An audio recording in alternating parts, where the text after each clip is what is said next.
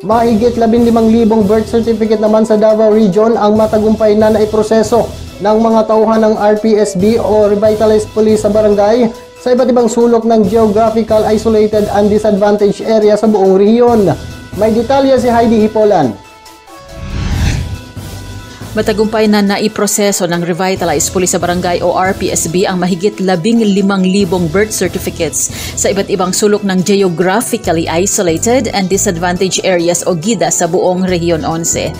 Sa loob ng mahigit dalawang taon, simula nang mag-umpisa ang programa ng RPSB sa ilalim ng pamumuno ni Police Brigadier General Fillmore B. Escobar, ay marami na sa mga residente na nakatira sa GIDAS na hindi pa rehistrado, lalo na ang mga katutubo mula sa iba't ibang ibang tribo ang nabigyan ng pagkakataon upang magkaroon ng pagkakakilanlan at maging isang tunay na Pilipino.